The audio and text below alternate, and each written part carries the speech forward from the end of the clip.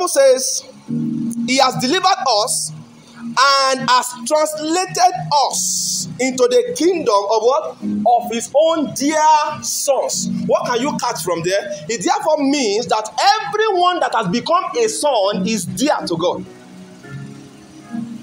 I'm going to explain what it means to be dear to you. Everyone that has become a son is what? Is dear to God. Is precious to God. He has translated us into the kingdom of his what? Of his dear sons. All sons are dear to God. What does it mean to be there? Some of you think, okay, that means God loves the son. No. Are you there? As far as God is concerned, love is a common denominator. Are you there? The way God loves you is the same way He loves unbelievers.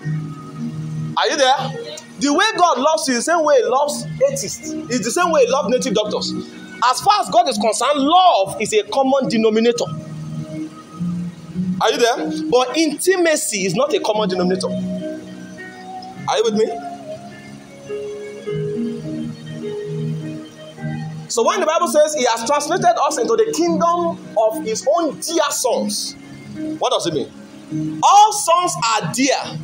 The word dear, dear means now, because they are dear to him, when they call on him, he what? He answers them. That's the state of being dear to him. A man that is dear to God cannot call God and God will not respond. The prophet of Baal, they did all the good, told themselves, blood coming out, Baal did not respond. But because the prophet of God was dear to God, fire came down to the are you getting what i'm saying water was there but yet fire still what came down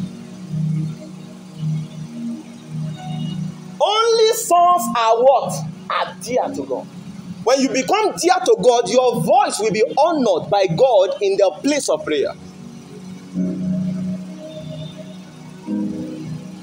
it is not everybody that prays that god hears are you there But a son cannot pray and God will not respond. It's not possible. You know why?